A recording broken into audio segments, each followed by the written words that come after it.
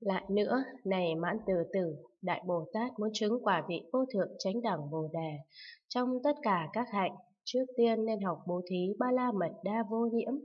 Vì sao? Mãn từ từ, vì nếu học bố thí ba la mật đa thì thân tâm phải liên tục mau chóng xa lìa san tham keo bẩn đã huân tập từ vô thủy kiếp đến nay mới dần dần thân cận trí nhất thiết trí. Vì vậy, Bồ Tát từng giờ từng giờ tác ý tương ưng với trí nhất thiết trí hiện tiền liên tục từng lúc từng lúc, dần dần thân cận trí nhất thiết trí, từng giờ từng giờ, dần dần thân cận trí nhất thiết trí, từng lúc từng lúc xa lìa bậc thanh văn và độc giác, từng giờ từng giờ dần dần xa lìa bậc thanh văn và độc giác, từng lúc từng lúc dần dần kề cận trí nhất thiết trí. Lại nữa, này mãn từ từ, như khi trời mưa, để vò ở chỗ cao hứng nước mưa, nước mưa dần dần đầy vò. Khi đầy như vậy là do giọt mưa rơi xuống liên tục, từ đầu đến cuối chảy vào đó không bị gián đoạn. Bồ Tát cũng vậy, chẳng phải cầu trí nhất thiết chỉ phát tâm ban đầu mà chứng đắc được, cũng chẳng phải sau khi ngồi tòa Bồ Đà khởi tâm tối hậu mà chứng đắc được, nhưng do phát tâm liên tục từ lúc mới phát tâm cho đến ngồi tòa Bồ Đà, khởi tâm tối hậu, chuyển chuyển liên tục, mà cầu trí nhất thiết, đắc trí nhất thiết, tâm ở chặng đầu giữa sau đều hướng trí nhất thiết, chứng đắc quả vị vô thượng chánh đẳng Bồ đề Cốt yếu là do các tâm nối nhau liên tục, dứt trừ các pháp chướng ngại mới thành tựu được. Lại nữa, này mãn từ từ, nếu các Bồ Tát muốn mau chứng đắc vô thượng Bồ Đà thì không nên để tâm bị xen tạp. Mãn từ từ liền hỏi cụ thọ xá lợi tử, lúc nào gọi là tâm các Bồ Tát không bị xen tạp? Xá lợi tử đáp, nếu các Bồ Tát tác ý phi lý hiện tại có thể tránh niệm quan sát, như thế có thể tùy thuận với trí nhất thiết trí không bị trái nghịch. Các Bồ Tát này có thể như thật biết ta phải tác ý phi lý, Đối với trí nhất thiết, làm bạn giúp đỡ nhau, nghĩa là ta phải tác ý phi lý, dấn thân trong việc sanh tử liên tục an trụ lâu dài, làm lợi ích hữu tình. Nếu thân không tác ý phi lý, giúp đỡ, hướng dẫn, làm cho an trụ, tức là chấm dứt, tự mình không thể viên mãn, thì làm sao đem lại lợi ích cho các hữu tình khác. Mức độ này là tâm các Bồ Tát không bị xen tạp. Lại nữa, này mãn từ từ, nếu các Bồ Tát quán các pháp thuận nghịch, hỗ trợ nhau đến trí nhất thiết trí, thì các Bồ Tát này dùng phương tiện thiện xảo quán tất cả pháp, đều tùy thuận sự cầu quả vị vô thượng chánh đẳng Bồ Đà, không bị sự thuận nghịch làm xen tạp tâm. Đối với cảnh nghịch tâm không sân hận, đối với cảnh thuận tâm không ái nhiễm. Nếu nghịch hay thuận đều biết đúng, vì nó hỗ trợ, làm duyên, dẫn đến trí nhất thiết. Bồ Tát như vậy thì trong tâm không bị xen tạp đối với tất cả thời, tất cả cảnh. Lại nữa, này mãn từ từ, ví như có người bị kẻ khác bắt giam dẫn đến chỗ giết, người kia run sợ, không còn tưởng việc gì khác, chỉ nghĩ như vậy, chẳng bao lâu nữa nhất định ta sẽ bị chúng giết hại. Các Bồ Tát cũng lạ như vậy, nếu thường suy nghĩ về trí nhất thiết trí, thì trong thời gian đó không có suy nghĩ gì khác, và trong mọi lúc tâm các Bồ Tát không bị điều khác xen tạp. Lại nữa, này mãn từ từ, ví như có người đem nhiều châu báu vào nơi đồng vắng, trong ấy có nhiều giặc cướp hung bạo, bấy giờ người kia không còn tưởng gì khác, chỉ nghĩ như vậy, lúc nào ta sẽ ra khỏi chỗ hiểm nạn này để đến nước giàu sang yên ổn. Các Bồ Tát cũng lại như vậy, nếu thường suy nghĩ về trí nhất thiết trí, thì những suy nghĩ khác không khỏi lên được. Thân ý của các Bồ Tát này thanh tịnh, tâm không bị điều khác xen tạp. Lại nữa, này mãn từ từ, ví như có người từng làm trộm cướp bị vua tìm bắt, người kia sợ sệt trốn vào trong chợ, núp chỗ ồn ào đông đảo để lần trốn. Chỉ ngay nơi đó đánh trống thổi kèn đọc sắc lệnh nhà vua muốn bắt y.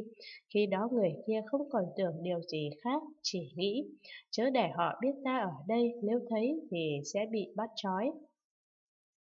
Các Bồ Tát cũng lại như vậy, vì muốn chứng quả vị vô thượng chánh đẳng Bồ Đề, nên thường suy nghĩ về trí nhất thiết trí, mọi suy nghĩ khác không thể khởi lên. Thời gian tu hành của các Bồ Tát này như vậy nên không bị điều gì khác xen tạp tâm. Lại nữa, này mãn từ từ, ví như thợ vàng, có người đem trăm vàng đến trao tận tay ông ta và nói, vật này vua bảo giao cho ngươi, hãy làm thành những đồ trang sức quý báu và đẹp, phải hết lòng làm gấp trong một tháng là hoàn tất. Nếu như không hoàn thành hoặc làm xấu xí, đầu ngươi sẽ mất, nhất định không tha. Người thợ vàng nghe thế, thân tâm run sợ, ngày đêm siêng năng gắng sức làm việc, không dám nghĩ các chuyện gì khác, chỉ nghĩ ta phải làm thế nào để đúng kỳ hạn cho vua và vật trang sức phải thật đẹp. Trong thời gian vật trang sức chưa hoàn thành, người kia dù có ăn uống vân vân nhưng hoàn toàn không nghĩ đến việc ăn uống vân vân, chỉ để tâm nơi thỏi vàng và liên tục suy nghĩ làm thế nào để sáng tạo các kiểu trang sức thật đẹp vì sao? Mãn từ từ vì người kia rất quý trọng thân mạng. Đúng tỷ hẹn, người thợ vàng hoàn thành các vật trang sức đẹp đem đến chỗ vua Tâu. Tâu bệ hạ các vật trang sức quý báu mà bệ hạ chỉ thị bề tôi làm, nay đã hoàn tất. Vua thấy rất vui mừng, an ủi người kia. Người vâng theo sắc lệnh của ta có công rất lớn, đáng lẽ phải làm 12 tháng mới xong, ngươi chỉ làm trong vòng một tháng hoàn thành tất cả vua liền đem nhiều vật quý báu ra ban thưởng, các Bồ Tát cũng lại như vậy. Từ lúc mới phát tâm cho đến tối hậu, định kim cương dụ sắp hiện tiền. Trong khoảng thời gian đó, tâm chưa hề xen tạp điều gì khác, chỉ cầu phát trí nhất thiết trí. Như người thợ vàng kia tiếp thân mạng mình trong khoảng thời gian đổ trang sức chưa xong, chỉ dốc tâm chế tạo đồ trang sức, chưa hề để vọng tưởng xen tạp Bồ Tát cũng vậy, vì tôn trọng Bồ Đà, khoảng thời gian chưa chứng quả vị vô thượng chánh đẳng Bồ Đà, tâm tưởng suy nghĩ về trí nhất thiết trí. Trong khoảng thời gian đó không có một suy nghĩ nào khác, đây gọi là tâm không bị điều khác xen tạp. Nếu các Bồ Tát cầu trí nhất thiết, có thể an trụ tâm như vậy, không để xen tạp, tinh tấn tu hành hạnh Bồ Đà, mau chóng viên mãn tư lương Bồ Đà, các Bồ Tát khác vì tu hành Bồ Tát mà để tâm xen tạp, nên phải trải qua vô số kiếp mới được viên mãn tư lương quả vị vô thượng chánh đẳng Bồ Đà. Các Bồ Tát này không trải qua trăm kiếp mới có thể viên mãn. Vì sao? Mãn từ từ, vì các Bồ Tát này cầu trí nhất thiết, không để suy nghĩ khác xen tạp trong tâm đại Bồ Đề dù chỉ chốc lát, nên không có tạp tâm lúc tu Bồ Tát hạnh, không phải trải qua trăm kiếp mới viên mãn, chứng đắc tư lương quả vị vô thượng chánh đẳng Bồ Đà. Khi tâm bị xen tạp liên tục thì không thành tựu tư lương Bồ Đà, tâm ít bị điều gì xen tạp liên tục, hiện thành tựu tư lương Bồ Đà vì thường tăng trưởng việc tinh tấn trong từng sát na sát na. Như vậy, Bồ Tát muốn cầu quả vị vô thượng chánh đẳng Bồ Đà dẫn đến việc viên mãn tư lương mau chóng thì phải siêng năng dùng phương tiện không điên đảo để tâm không bị xen tạp, nếu được tâm như vậy thì dễ chứng đắc trí nhất thiết trí. Bấy giờ mãn từ từ hỏi xá lợi tử.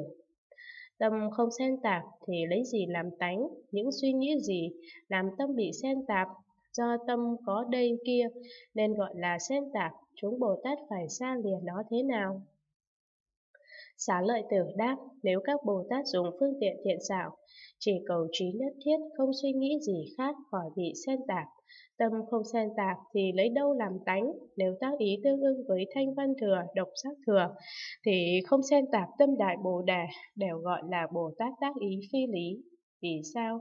Vì tác ý nhị thừa nên trái nghịch với quả vị vô thượng chánh đẳng Bồ Đề.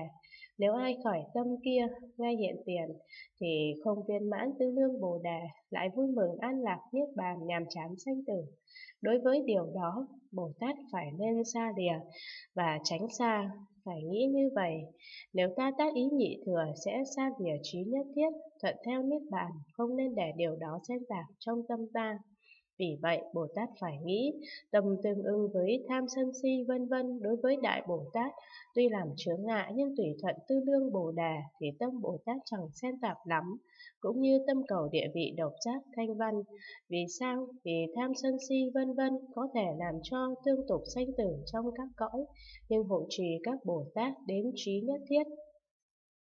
nghĩa là chúng Bồ Tát dùng phương tiện thiện xảo thọ thân đời sau, chịu các phiền não để làm lợi ích lớn cho các hữu tình y vào đó tu học bố thí, tịnh giới, an nhẫn, tinh tấn, tịnh lự, bát nhã, ba la, mật đa, làm cho được viên mãn, y vào đó tu học bốn tịnh lự, bốn vô lượng, bốn định vô sắc, làm cho được viên mãn, y vào đó tu học bốn niệm trụ, bốn chánh đoạn, bốn thần túc, năm căn, năm lực, bảy chi đẳng giác, tám chi thánh đạo, làm cho được viên mãn. Y vào đó, tu học pháp môn giải thoát không, vô tướng vô nguyện, làm cho được viên mãn. Y vào đó, tu học pháp môn Đà La Ni, pháp môn Tam Ma Địa, làm cho được viên mãn. Y vào đó, tu học các địa Bồ Tát, năm loại mắt, sáu phép thần thông, làm cho được viên mãn. Y vào đó, Tu học mười lực như lai, bốn điều không sợ, bốn sự hiểu biết thông suốt, đại từ, đại bi, đại hỷ, đại xả, mười tám pháp Phật bất cộng, vân vân, vô lượng vô biên công đức chư Phật, làm cho được viên mãn.